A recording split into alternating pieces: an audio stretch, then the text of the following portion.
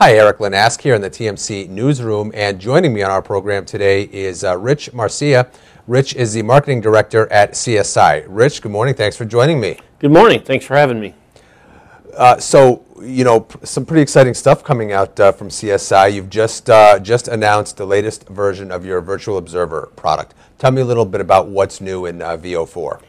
Virtual Observer 4.0, you know, wasn't an overnight uh, work, work. It was a work in progress for the last few years. We really wanted to make sure we got all the technologies correct and, and wanted to make sure that the web version came out with all of the, the features that we had in our client server version.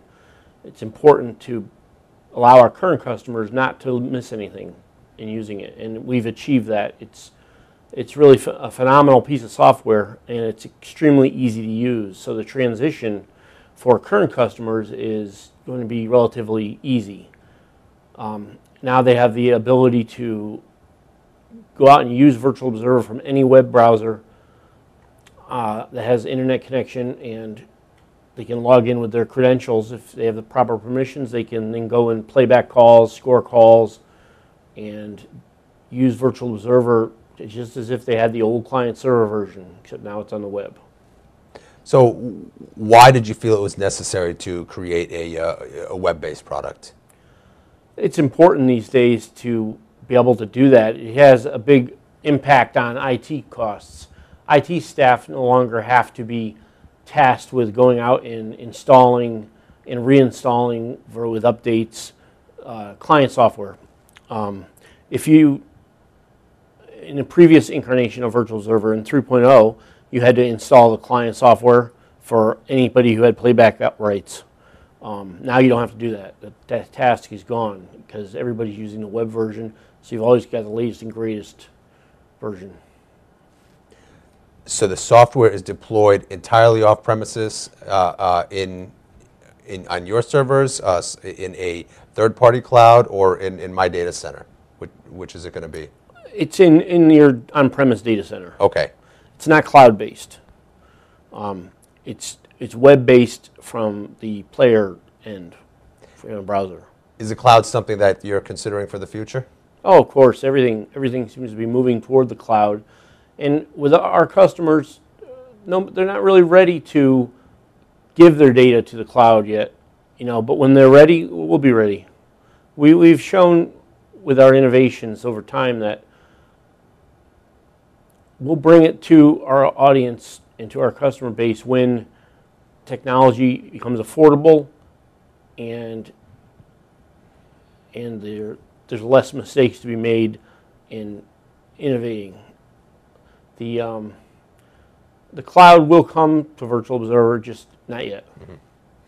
Now, you mentioned costs and cost uh, cost efficiencies. One of the things that uh, you've mentioned previously is a very low total cost of ownership with the Virtual Observer product.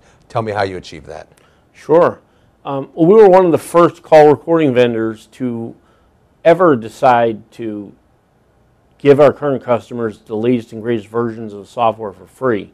We always upgrade everybody to the latest version, keep them on the current version, so that everybody is on. everybody has a similar um, environment with which to be supported and to not have to worry about paying upgrade fees where they're basically doing a rebuy. That, that doesn't exist with Virtual Observer. Our customers are brought forward with a nominal professional service fee just to update their servers. That's one of the biggest reasons there's a low cost of ownership, and also a big reason why we have a high customer retention rate. How big of a differentiator in the market is that for CSI? It, it's a big differentiator. Like I say, we were one of the first, and there's been some follow the leaders that have uh, gone along and, and done that. And you know, we'll kind of take credit for that. It's a good thing to to be able to not have to charge your customers basically and essentially a rebuy when you're going to upgrade to the next version.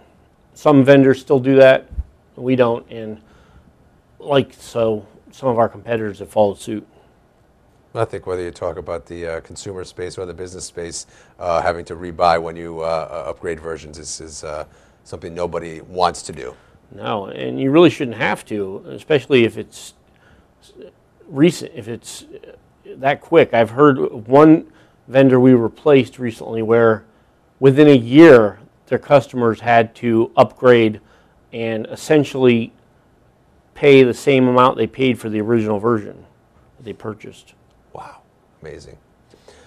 I think one of the things uh, it makes sense to talk about when we talk about call recording is also what you're seeing happening in terms of uh, speech analytics. Speech analytics is it's huge. Everybody seems to have their own flavor of speech now. You know, we've chosen to go the route of the phonetics-based speech, and we're able to index calls immediately as they come off the recorder. Therefore, our customers are going to have the ability to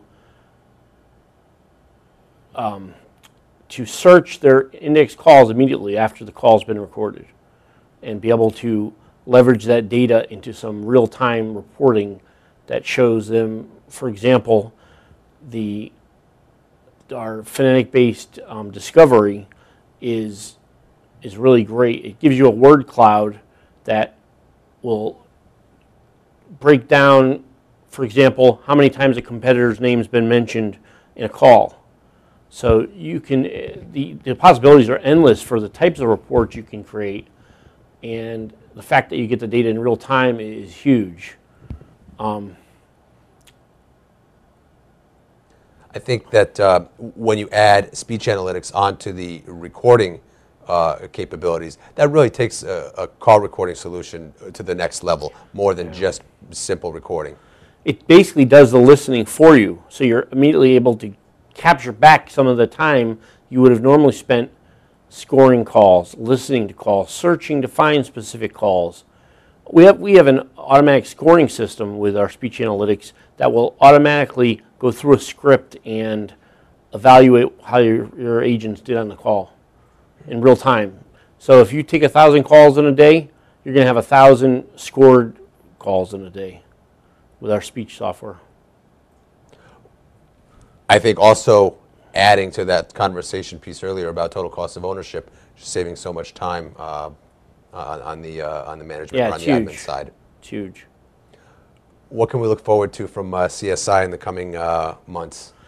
Well, we're going to be, as I said before, the first release of the web version is really bringing all of the features we had in our system forward. Next, you're going to be seeing a whole slew of features that are enhancements beyond what we had in, in Virtual Observer 3.0. And that are going to be focused on more supervisor functions, agent functions, um, more reporting. The dashboards in, in the new system are entirely new and really are going to be um, something I'd like to show. Well, I see, you know, certainly look forward to seeing more of that. Uh, seeing some of this stuff in action sounds uh, really exciting, and, and uh, uh just knowing what is uh, how client reaction has typically been to uh, lowering administrative opportunities and uh, obviously costs as well. Uh, you know, the web-based version is certain to, I'm absolutely certain it's going to be uh, well received by your audience. There's several factors that contribute to the low cost of ownership and reducing the footprint. I mean, the fact that a lot of the servers that are going out there now are, are virtual, we're able to save customers costs on hardware. Um, a lot of the integrations that are coming out now with, um, we've got an, a specific Avaya integration called DMCC, which is widely known. We do quite a, quite a bit with that. Um, it doesn't involve recording hardware, so that's eliminated from the equation. Same with uh, Cisco active recording. Um, Mitel has an active recording. We've pursued all of the all of the integrations that are possible to eliminate that cost from the customer's end. And um, we'll continue to, to push forward on breaking down some of those costs and eliminating them from, from customers where possible. Well, knowing customers, uh, they will uh, be very appreciative of that. I'm Erik Linask. I've been here in the TMC newsroom with CSI's Rich Marcia. Rich, thanks so much for joining me today. Thanks for having me.